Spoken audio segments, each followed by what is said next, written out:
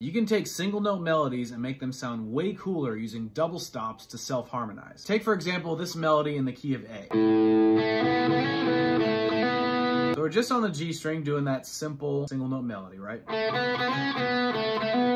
Gonna do is we're gonna add an upper harmony to each of those notes. So it starts with the stacked third here because we have our root note here, which is A. So we have right below it on the same fret, we have our third, then we have our next note that has a third on top of it. It looks like this. Then we're gonna take this same shape here and move it up two frets. And that right there, those are the stacked harmony double stops we're dealing with. So we have, and we just gotta move it in the order of the original melody. So if the melody was, do it again. We're just gonna add those harmony notes.